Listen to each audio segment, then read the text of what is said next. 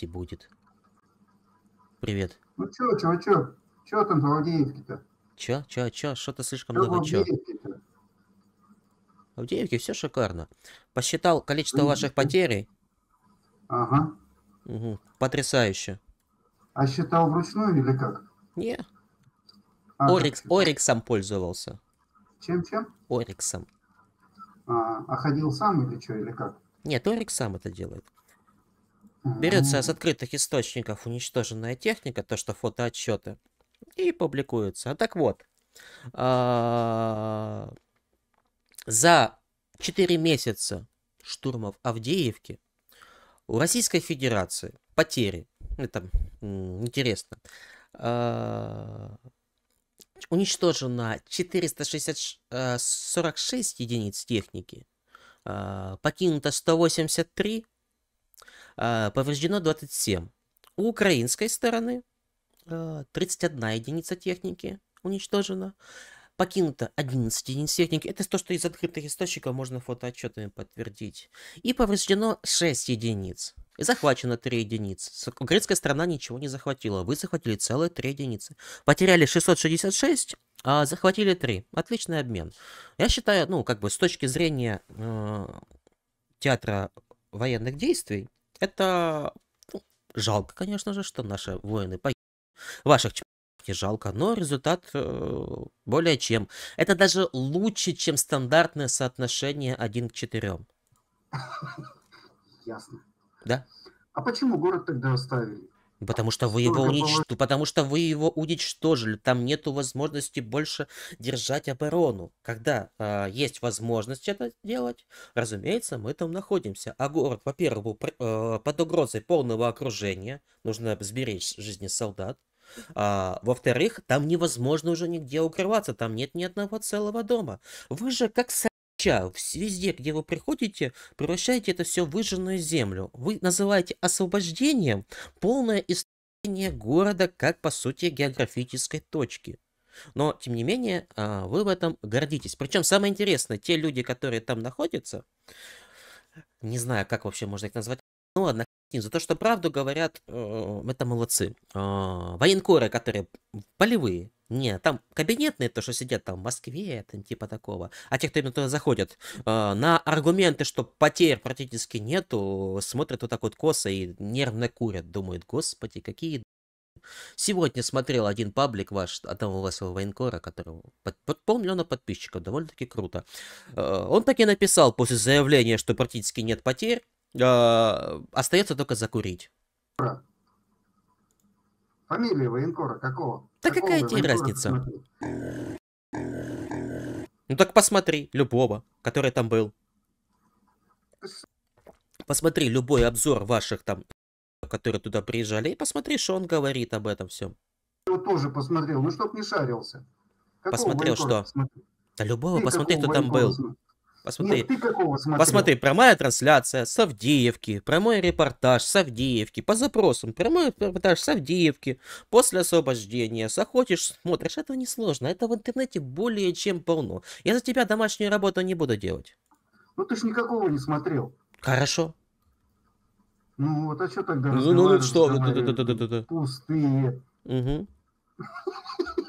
О, смешливость, дурашливость, э, склонность к неуместным шуткам, признаки гиперфренической шизофрении. Молодец, продолжай. Ты еще говоришь, не убегай. Ты ж не бесполезная. Ты все, что когда начинаешь тебя ставить в угол, ты все, что делаешь, начинаешь заговаривать, забалтывать, смеяться. Это уже слабость позиции. Что такое, какой шизофрении? Гиперфренической шизофрении. Можешь погуглить, что это такое? Ги- гиперфонической? Да-да, гиперфонической, конечно. Видимо, твой только на такое способен. Я что-то не понял вот этого вот. Что ты там придумал? Какой термин?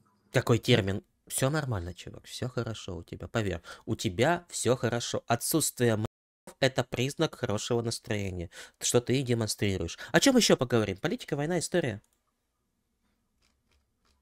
Начали ж уже разговаривать. Что ты со с темы соскакиваешь-то? Я думал, мы закончили, ты начал смеяться, начал корчить из себя, наверное, ты таковым и являешься. Поэтому предлагаю какую-то другую тему теперь. это, ты это, Это, фамилию это, блогера это, назови. это, что?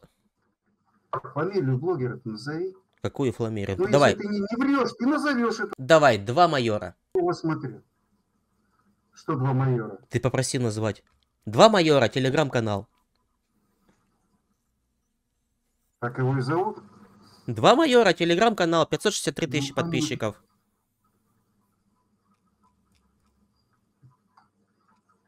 Я тоже такого не знаю. Какая прелесть. И мне вот тут пишут, никто не знает таких. Зайди, два майора. Телеграм-канал, Ну, хорошо, 563 потом тысячи зайду. подписчиков. А ты уверен, что это э, российский блогер? Конечно, российский. Да вот мне тоже пишут, что вот как-то что-то вот ребята с передка пишут, не, нормально, мы не знаем такого.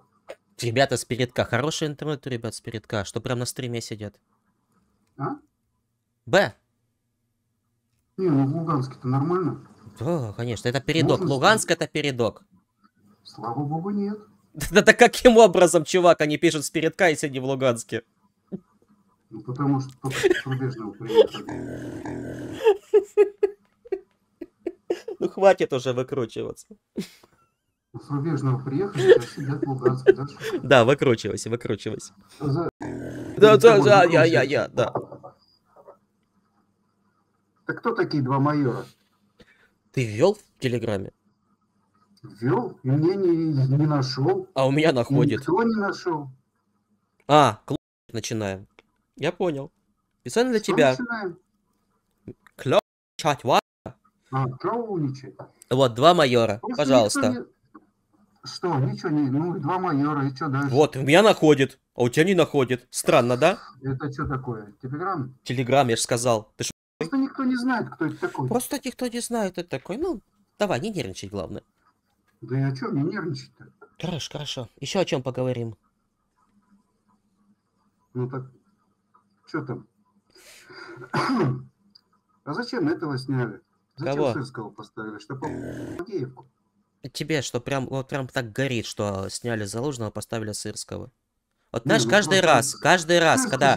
Каждый раз, каждый... чувачок. вот. Конечно, каждый раз, когда такие, как ты, делают акцент на том, что «а зачем сняли?», я каждый раз убеждаюсь, что это было правильное решение, потому что иначе бы, если бы это было решение какое-то там э, неверное, ошибочное с нашей стороны, вы бы на этом даже акцент не делали. Спасибо, что в очередной раз это подтверждаете. Молодцы. Цифры потерь. Блин, где ж моя ручка? Где ж твоя ручка? А, вот, она. Хочешь? Ручку, да. Держи.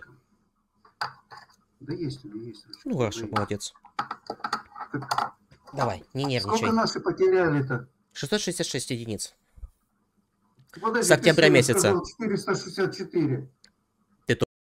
Ты же говорил 464. Давай тебе еще раз прочитаю. Ну. Уничтожено 446 единиц, покинуто 183 единицы, повреждено 27 единиц, плюс, плюс, плюс 666.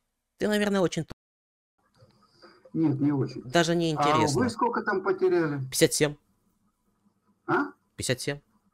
57? Да. 57. 57 это единиц бронетехники, да? Техники, да. Ясно. Это только под Авдеевкой. Ну да, да, да. А, это только под Авдеевкой? Ну да, я же про Авдеевку 600 говорю. 600 с чем-то там единиц потеряли техники, да? Да, 660. с октября месяца, 10 числа. 670. Ясно. Что ж тебе А понятно? такие цифры? Ты Ориксом пользуешься? Нет, зачем? А надо. Не Орикс. Действительно. у А меня какими ты источниками пользуешься, чтобы узнать потери? Чьи? Да хоть какие-то. Ну, свои потери я потом узнаю. Ну, а Точные. Точные. И поэтому я цифрами апелли... ты апелли- веришь, что они тебе скажут? буду. Это Можно когда? я продолжу? Ага. Хорош забалтывать. Не, Ну, нельзя. Помолчи. Как интересная тема в этом плане ключе. А, по поводу Первой Чеченской войны, первые данные были о потерях порядка д- трех тысяч человек. Это первые данные по поводу Первой Чеченской. В 2010 году, если не ошибаюсь, эта цифра увеличилась в 4 раза. перепосчитали. Э, Поэтому получается раз, два, три, ну, может лет через 15 после того, как про какие-то цифры вы узнаете, да. Конечно. Все сказал? Нет. Вот. И то, что... Мне просто не интересно. Да понятно, неинтересно. Ну, конечно. Ты ж на свою аудиторию все равно рассказываешь. Ну, конечно, ты Ну на вот. свою, я на свою. Я тебе рассказываю, а ты на свою аудиторию. Видишь, какая разница между нами? Ты мне Да? рассказываешь? Разница только в том, что ты меня не слушаешь. Да кто тебе сказал? Ты? Как не печально, вот как не это... Конечно же, ты меня не слушаешь, потому что когда я тебе сказал 446, 183 и 27, ты потом а, акцентировал внимание только на 446, и потом задал вопрос, откуда 666. Мне пришлось еще раз повторить, поэтому прихожу к выводу, что ты меня не слушаешь. Хочешь пить?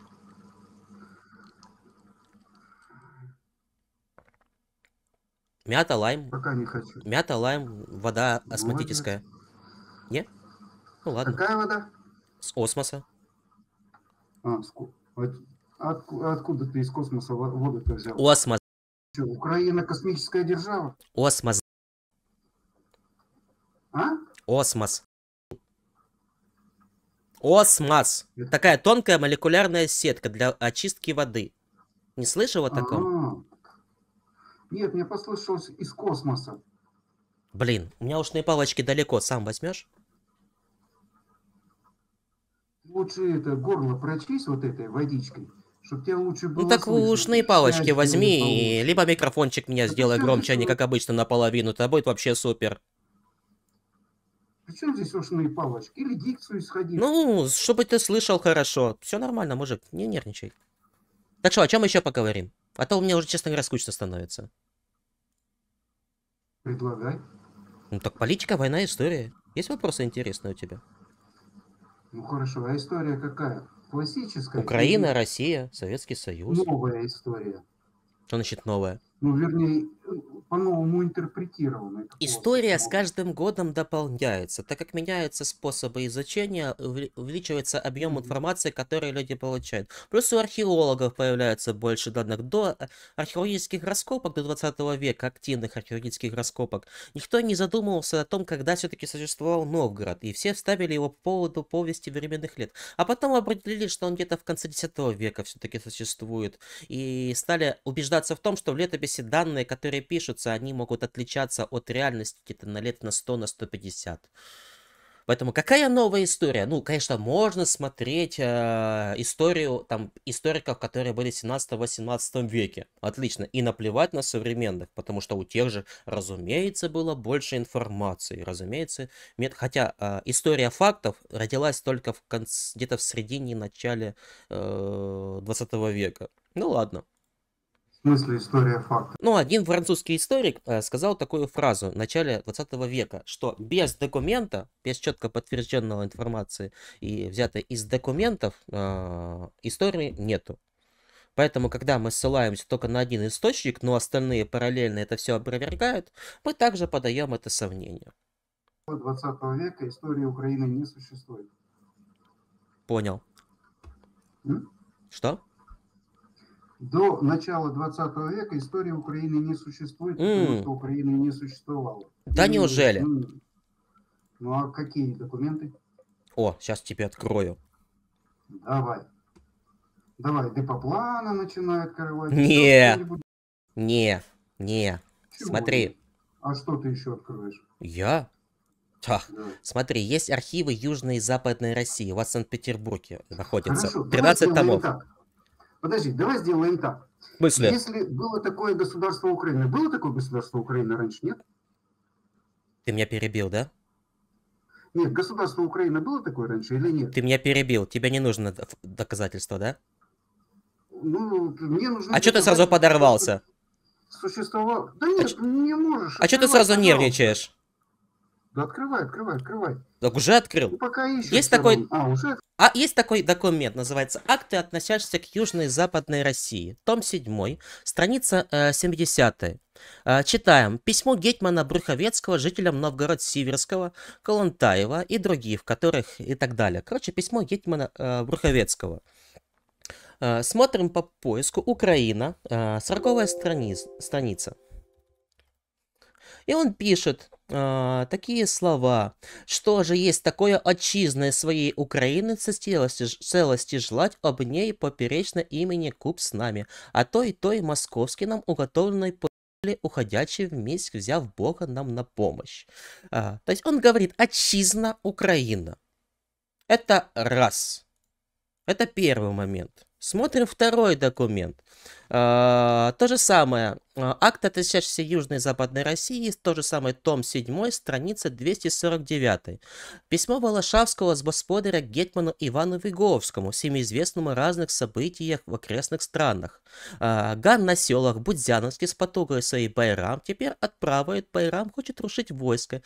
Единый кажут через а, панство польского государства, украинское и польское, до венгерских. То есть он говорит панство государств украинских и польских. Опять же, государство. Интересно, а что означало э, в 17 веке слово государство? Не подскажешь? Что обозначало? Я тогда знаю, что оно тогда обозначало. Я тогда не жил. Но сейчас оно обозначает. Сейчас оно обозначает. Ну, скажем так, власть, управляющую страной. И у этой власти были атрибуты. Были правители этого Я тебе открываю ваши российские казна. документы. Я тебе открываю ваши российские документы. И вот там пишется везде Отчизна Украина, государство Украина. 17 века, украинскую. Весь свой дом отдам. Хочешь? Что весь свой дом отдашь? За одну самую монетку украинскую 17 века. Польский злотый. А при чем здесь Украина? Ну, потому что в Украине тогда ходили польские злоты. Была такая страна Украина? Бывает. Я тебе только что прочитал. а, открыл седьмой том, две страницы целых.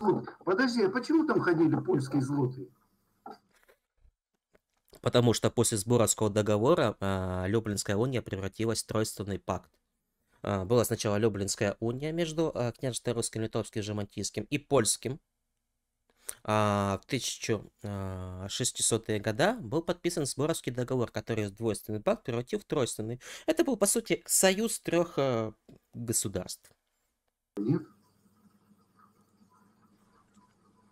Государство Украина было такое? Я ж только что тебе прочитал. Со своей территорией, да? Я только что тебе прочитал.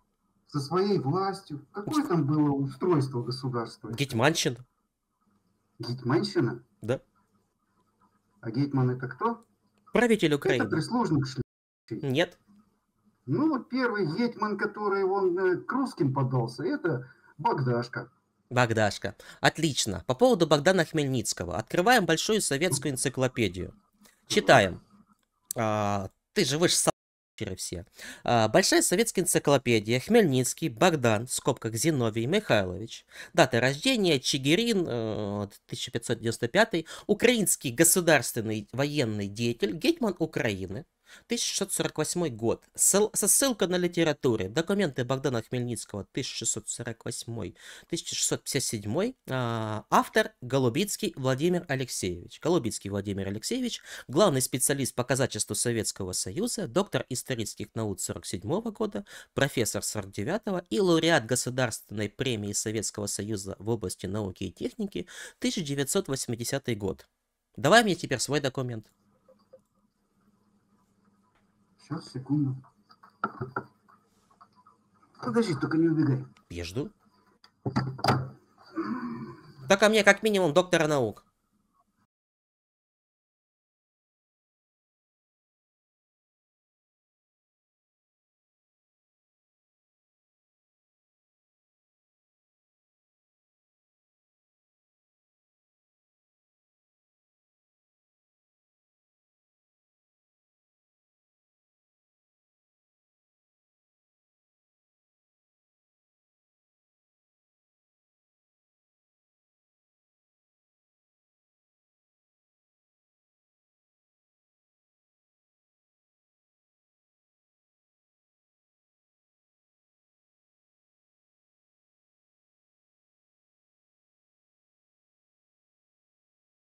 Большой энциклопедический словарь тебя устроит? Нет. Нет, не устроит. А, он же наушники снял, его не слышит. Он меня не слышит. Мужик. Нет, не устроит. Чего не устроит тебя? Как устроить, только наоборот. Во-первых, что за большой энциклопедический словарь? Большой энциклопедический словарь. Кого? Сейчас, подожди. Москва, советская энциклопедия, 91 год. Что ищешь? Хмельницкого, Богдана. Ищи.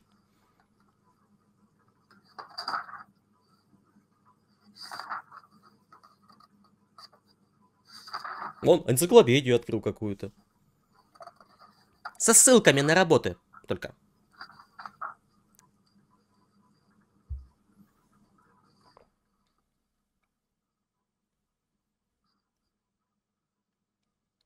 Ой, блогер, неподготовленный.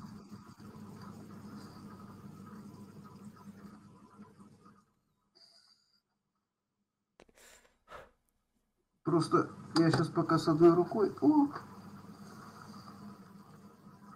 Гетман Украины. Что делать? Войны украинского народа против польско-шляхтического гнезда Переславской Рады. Гетман Украины написано. Украины с Россией, имевшие прогрессивное значение для судеб украинского и русского народа. Объединение Украины с Россией. Так Украины ж не было. А? Так, в смысле? Так Украины ж не было. Почему-то написано, что объединение Как Украины с Россией. Было, Так написано как объединение Украины с. Россией. Секундочку. как государства не было. В смысле? Там написано, что не было государства? Не было. А где там написано, что не было государства? Нигде не написано, что оно было. Так, погоди, секундочку. Я тебе открыл, что было государство. Не было государства. У А. государства есть какие, кое-какие атрибуты, Да. которых у твоей Украины не было. Это правительство, это территория, это международные договора. Международные договора с Польшей, а, с Крымским ханом, а, с Молдаванами, это с московским государством. Все атрибуты присутствуют. В документах, которые мы от- открываем, четко пишется а, Отчизна Украина, государство Украина. Где пишется? Я тебе читал только что. Где пишется? Еще раз прочитать. Давай еще раз прочитай. Давай Только еще раз. Потому что у тебя дикция. Ну, очень. Давай. Еще раз. А, Ну, письмо чего господаря? Гетману Иваному Гвиговскому с известным о разных событиях в Письмо окрестных... Не перебивай меня. Если ты закроешь свой внимательно начнешь меня слушать, включишь звук мой погромче, то тогда ты обязательно услышу. Последний раз для тебя читаю. А, Страница 249. Акты, относящиеся к Южной и Западной России. Том 7. Письмо а, Волшавского господаря Гетману Ивану Выговскому с известных разных событиях в окрестных странах, где мы читаем перепись конкретную. Куда ты пошел?